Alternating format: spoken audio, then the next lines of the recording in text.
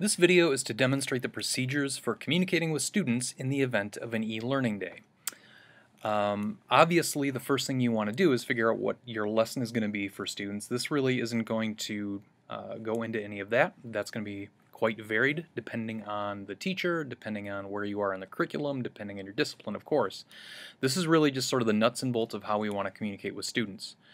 As you can imagine, we'll have 250 plus teachers, 3,500 students, lots of different uh, lessons. We, when we met with students in our e-learning committee, we talked to them about that. How do you want to be communicated with? Or how do you want that first communication to come from teachers? And they were very adamant that it should be email.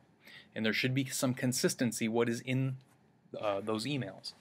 So um, we came up with an agreement with a plan with those students, and I'd like to communicate that with you right now.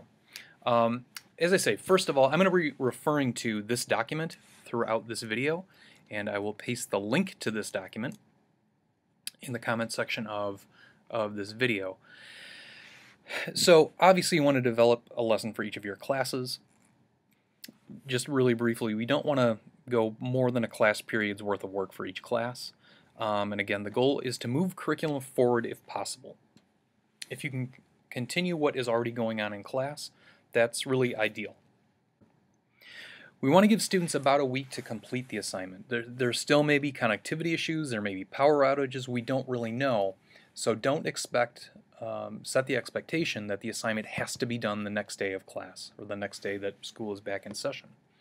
And with any lesson, as with any lesson, students are going to need to know what are the goals, what's the objective, what uh, resources do they have, to complete the assignment, web-based or otherwise. How am I going to submit my work?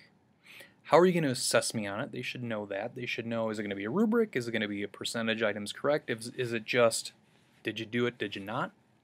And how long they're going to have to complete the assignment. Now what's unique to this particular situation is they're going to need to know, how do I check in for attendance purposes? And we're going to talk about that in just a second. So this next part is extremely important. We want to make sure that you are signed into Chrome using your student account, your student.leyden212.org account. Not just signed into your email, actually signed into Chrome using your student account. We want to make sure everything that you create, if there are you know Google Drive permissions, that the students are able to access that. Um, and particularly the attendance form I'm going to show you in a second needs to be in the student domain. So just to review that, I'm going to look up here in my top right, I've got, it says Leyden student. That's what I've called it. And you can also see in this document, it's mstoraasli at student.leyden212.org. Um, that is as opposed to if I clicked on here and went to switch person, here would be my home. I have a personal Gmail uh, account, and I have my mstoraasli at leyden212.org account, the adult account. We want to make sure that you are in the student account. Okay, so if you're not sure how that works or if you want to check, you can click on the little uh, hamburger button here and look at your settings. And uh, up here in sign in, it says disconnect your Google account. I don't want to do that, but you can see all the different accounts that you do have. I've got my student account, my adult account, my home account, Concordia account, things like that. Um, so, just make sure you are in your student account. Now, again, what is really unique about this situation is um, we have to take attendance in some way. And what we have decided is that you will create a Google form and you will include the link to that Google form in the email you send to students. Students are going to click on that form. Really simple form, first name, last name, period, but it's also going to collect their email address. So it'll have a timestamp on it so you know they've checked in. You're going to use the responses to that form to enter your attendance, as usual, in eSchool. Okay, so this is how we're going to do it. I've created a template for this, and all you have to do to make your own copy of that template, you only need one for all of your classes. Just click on this link. And it's going to prompt you to make a copy of my document, my template document, but it's going to put a copy in your drive, in your student account. So go ahead and make a copy. Right, what you're probably going to want to do is change the name to your name. It might be nice here, I think, to have your name. All right, and that's it. Basically, this is all the form is. First name, last name, but here's the important one, is the period. You're going to be able to sort on the period to put all of your period 1 students together, all your period 2 students together. Alright, so let's make sure that you really did create it and really is in your student drive.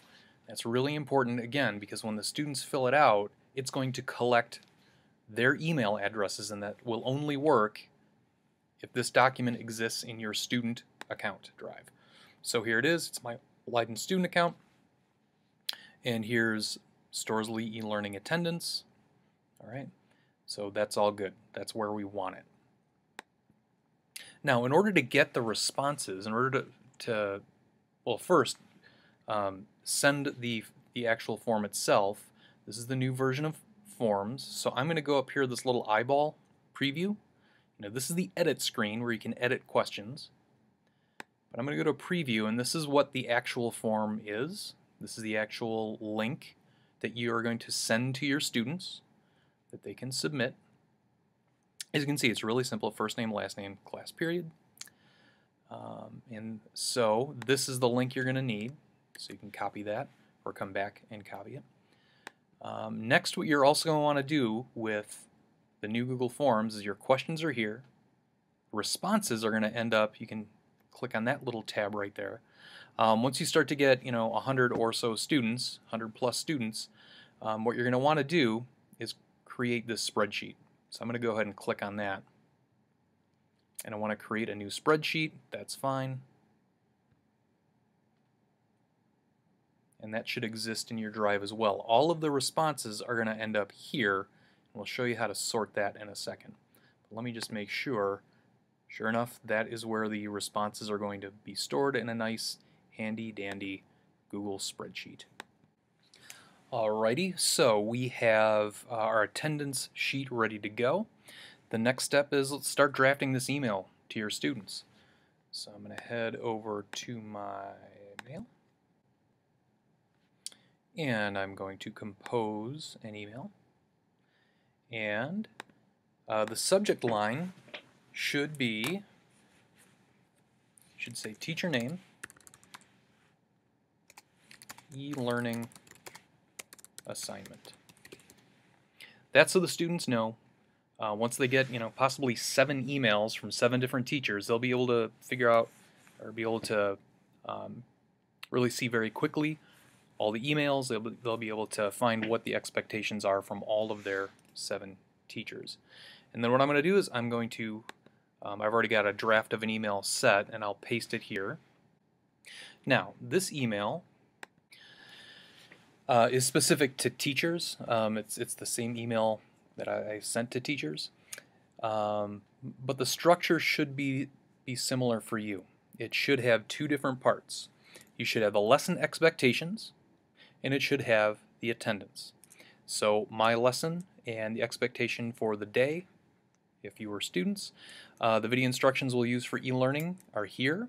I want you to click on it. My goal is for you to understand what's expected of a teacher in the event of any learning day. Please, please watch the video and answer the questions embedded in the video by January 4th so I can check your understanding. So that's one section of the email. The second section is attendance. We need to make it really clear for students where they're supposed to go to check in for attendance. And it just so happens, well, I will remove this uh, link, but it's the exact same link as this, the live form. So I'm going to copy that again. I'm going to paste that link.